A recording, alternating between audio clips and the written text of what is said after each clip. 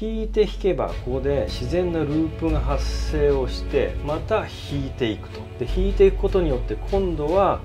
クラブヘッドの性能で戻っていく。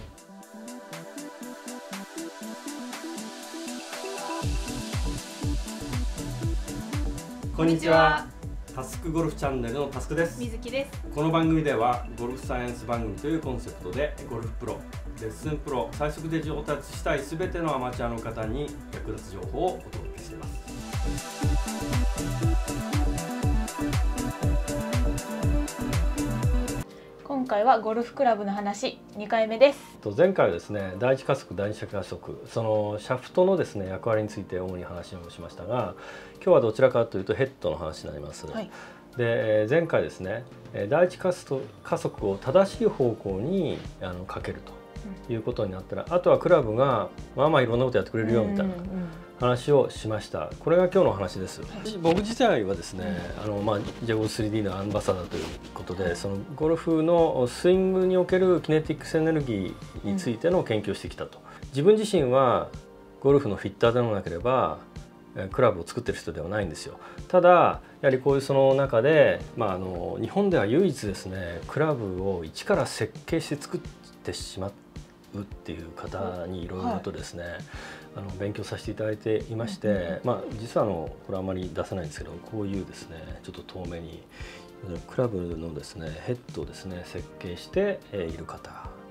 がいます。こうやってクラブを一からじ実はですね設計する人ってほとんどいないんですよね。ねこれなかなか見たことないでしょ？でこういう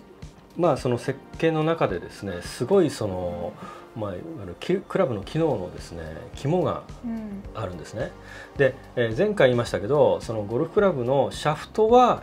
まあどちらかというとエンジン。うん。そしてヘッドはヘッドってすごい規制されてるんですよ。その反発係数とか大きさとか。うんなのでヘッドそのものでボールをすごいもう遠くへまっすぐっていうことはあのなかなか難しいんだけれども、そのヘッドはですね感性を広げてそれでそのまっすぐボールを飛ばすっていうこと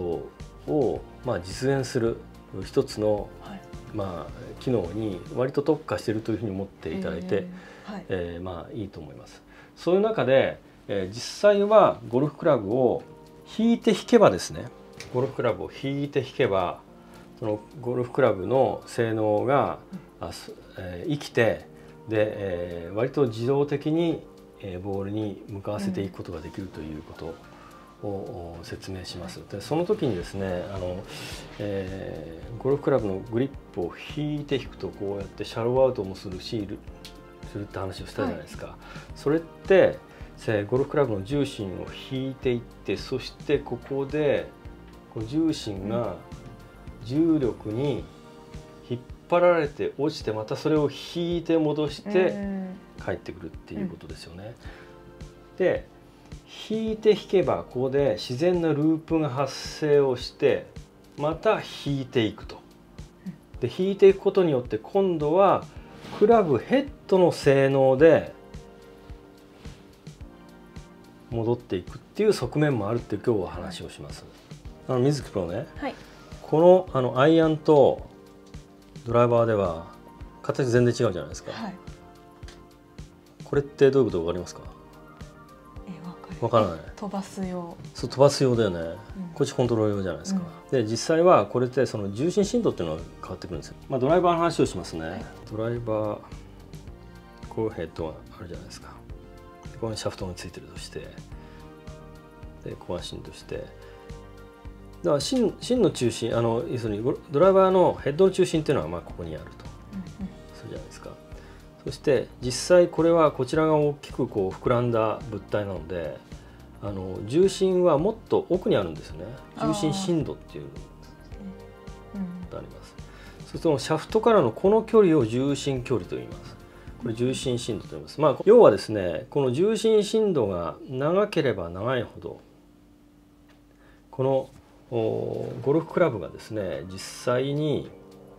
こういう回転するモーメントが大きいってことなんですよ。さらに重心振動これが振動が長ければ長いほど直進性能も出てくるって言われるんですよ。さらにこの重心振動が長ければ長いほど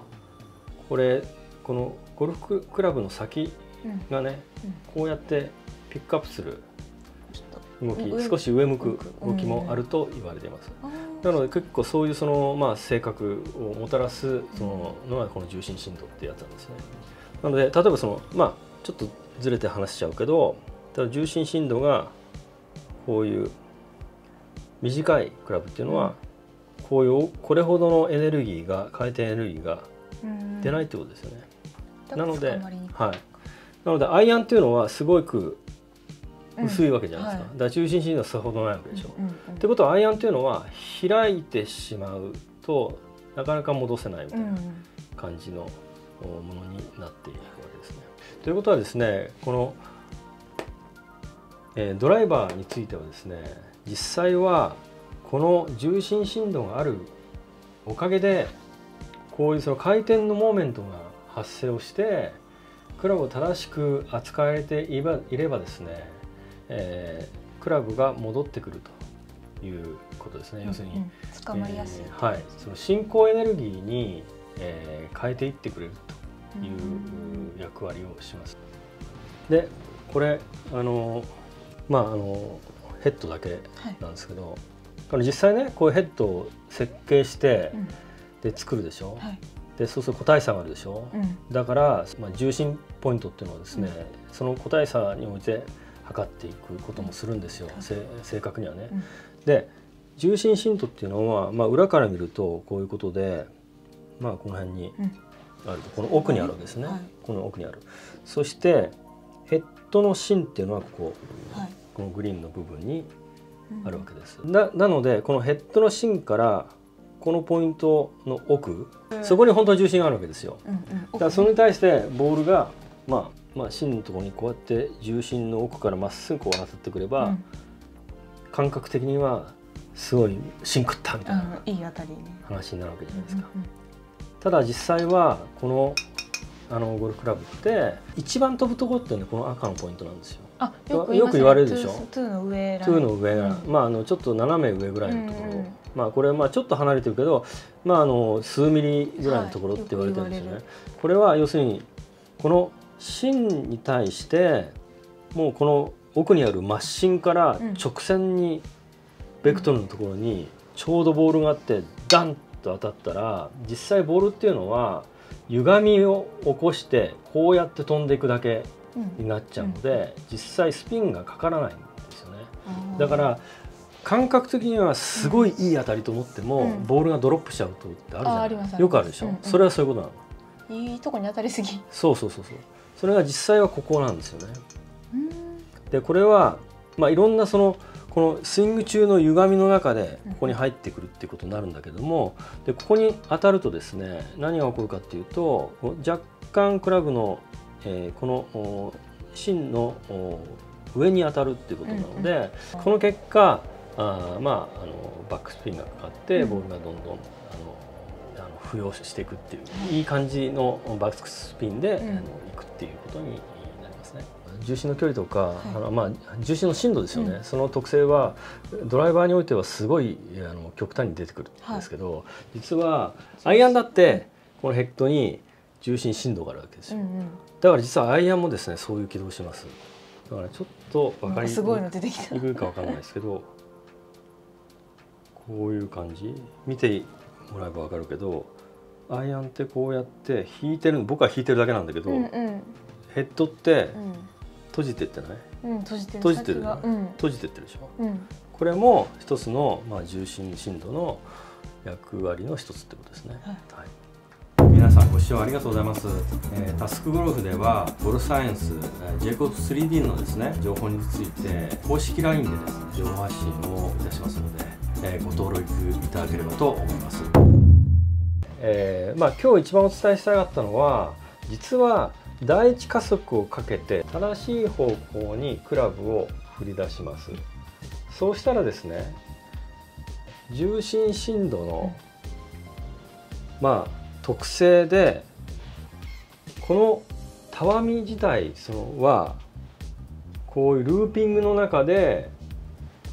えー進行エネルギーに転換されてボールに向かうってことなんですよ。ダウンに入って重力をもらうような段階になるとこういうエネルギーがモーメントがかかるんです。なのでダウンに入って正しい方向にシャフトをしならせることができれば、そのルーピングの中で変重心特性でルーピングするんですけど